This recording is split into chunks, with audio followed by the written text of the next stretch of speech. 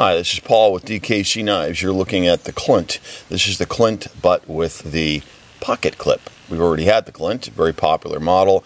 Had a lot of requests to put a pocket clip on it. So now you're looking at the Clint with a pocket clip.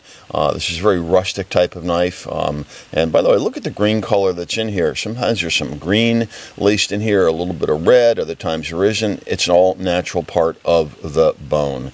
Uh, so it's uh, kind of the unique characteristics, really cool part of the knife. Um, you can see all the beautiful Damascus patterning on there. Uh, I've got a thumb pull and that opens up carefully snaps into place and this is a depression lock. So the depression lock works by pushing back here I'm going to do it with two hands push here and whoosh, the knife releases and we can close it.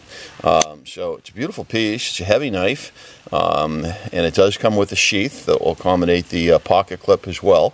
Um, just a gorgeous piece. Look at the patterning on that. So if you want to have a really nice unique gift or one for yourself that's got a pocket clip, uh, come check it out. This is the uh, Clint with the pocket clip and you can find this at dkcknives.com. We have now about 10 or 12 pieces that have built-in pocket clips, so uh, just look on our website at dkcknives.com. There should be a category selection of pocket clip knives, and we're going to continue to add to it. Uh, more and more people are requesting pocket clips.